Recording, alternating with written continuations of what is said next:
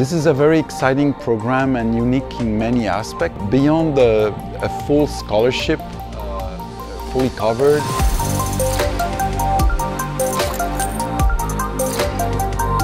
the students will actually be in a situation where they can join very exciting projects. I'll give you some examples. We have a new project in collaboration with a prominent professor at UC Berkeley in chemistry, which is about uh, discovering new materials through artificial intelligence techniques. So this is a project that mixes computer vision, natural language processing, and of course material science, which is the object matter. And this is an example of interdisciplinarity and also the fact that we're collaborating with prominent universities and professors across the world. Another example is, of course, the Smart Health Center, which was uh, uh, recently launched with uh, generous support from Vingroup. This is a, also a very exciting project and so as a PhD student you're able to join these projects. It's usually interdisciplinary so it's not just computer science for itself but it's computer science and artificial intelligence to actually advance the agenda and impact problems, uh, you know, have an impact on problems that have a societal scale, so, uh, and that are relevant to Vietnam.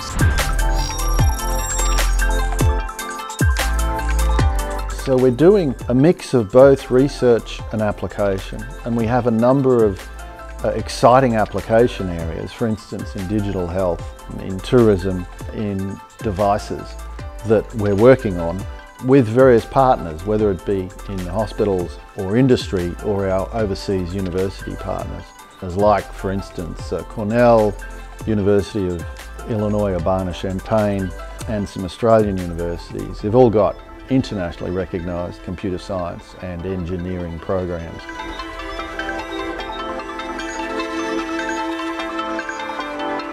In our faculty you have uh, Professor Wray Buntine, who is a very prominent scholar in machine learning.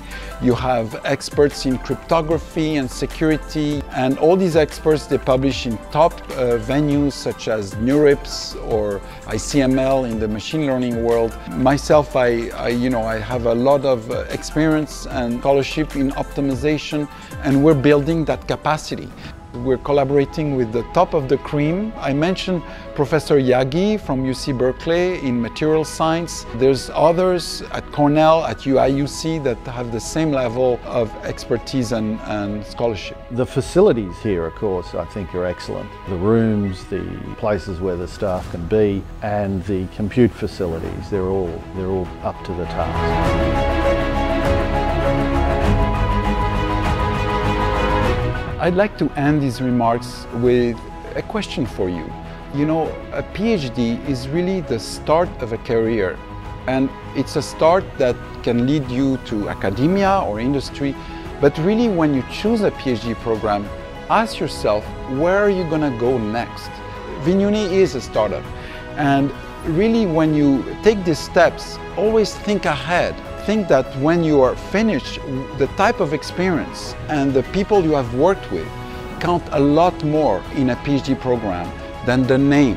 When people try to hire you and interview either for a job in academia or industry, they will look at your work. They will look at with who have you published.